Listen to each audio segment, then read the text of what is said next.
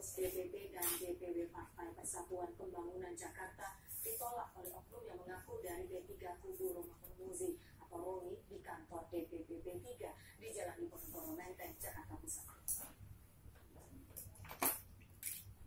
Penolakan kedatangan pengurus DPP dan DPW Taman Jakarta untuk bersilaturahmi berdampak adu mulut yang tak dapat dihindari antara dua kubu yang sebagai kelompok ketiga yang sah. Hukum DPP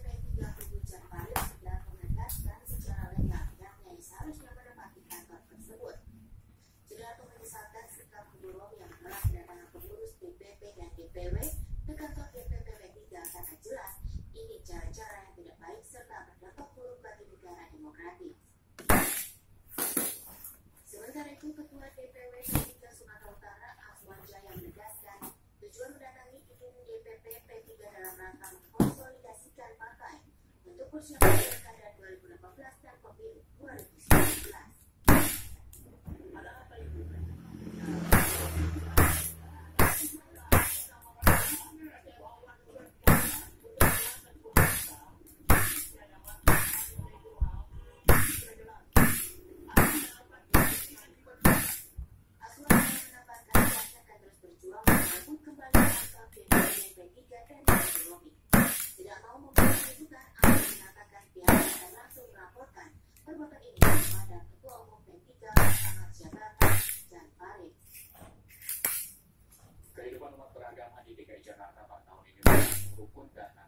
Gangguan yang berarti dan kerjasama bersama umat mengamalkan agama telah berlangsung seperti yang diharapkan oleh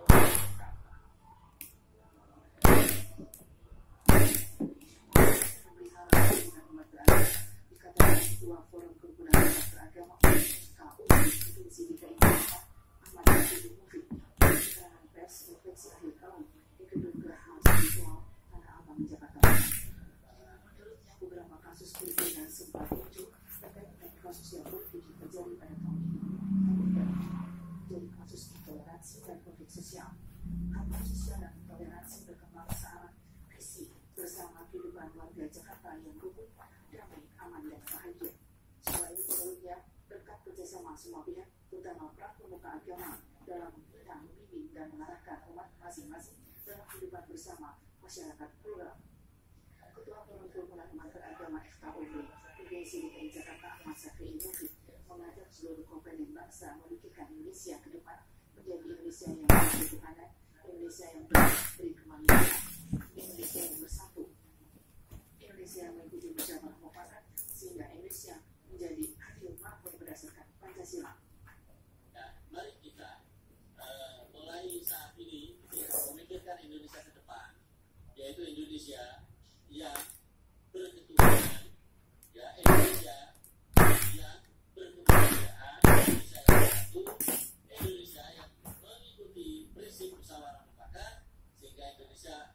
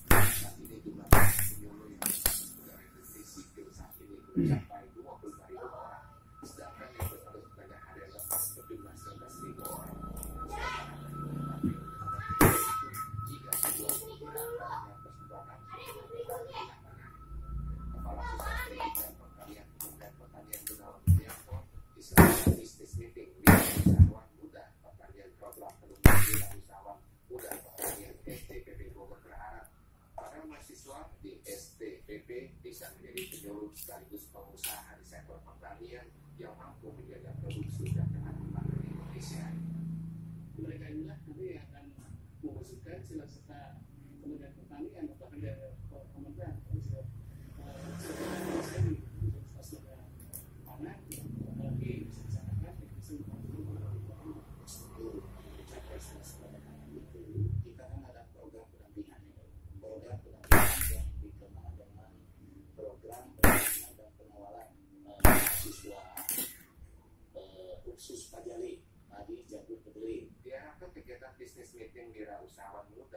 yang bisa memberikan hasil yang sejalan dengan penumbuhan wira usaha muda pertanian sehingga bisa terdapat bagi pencapaian dan sasaran pembangunan pertanian. Saat ini lebih dari 35 orang masing-masing pihak swasta telah menyelenggarakan pendidikan kenotariatan yang menghasilkan sekitar 3.000 lulusan sebagai magister kenotariatan tiap tahun.